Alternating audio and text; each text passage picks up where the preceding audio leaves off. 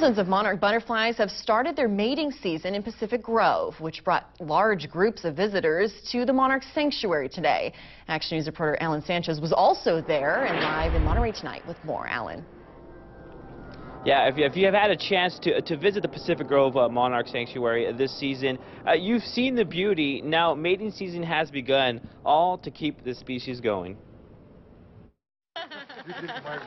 Through the trees, the sun shined down on Pacific Grove and its monarchs. The over 16,000 butterflies here have been in the sanctuary since November. Currently, mating season is going, which is earlier than usual.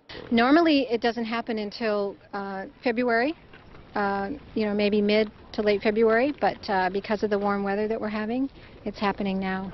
Once the male successfully mates with a female, the female will leave and find a milkweed to lay her eggs.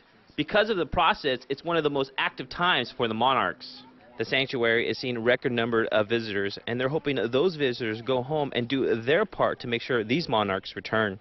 If you have uh, full sun in the land, you can plant milkweed. You can go online to find out the best milkweed for your area to plant it.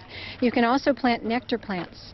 Um, it doesn't just help the monarchs, it helps other species of butterflies and birds. Mating season is the final stage of their stay here in the sanctuary.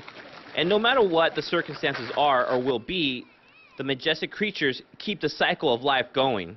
They've been through it all. Yes, the milkweed butterflies existed since the dinosaur era, so they've been around for a long time. And, um, you know, the old saying, if we leave Mother Nature alone, she knows what she's doing. Yeah, absolutely. Uh, talking to volunteers today, they estimated about a thousand people were in today before noon, so you can see how popular they are. As for what more you can do to make sure the population keeps uh, rising, uh, make sure you research what kind of herbicide you use on your plants to make sure it's safe for these monarch butterflies. Lauren.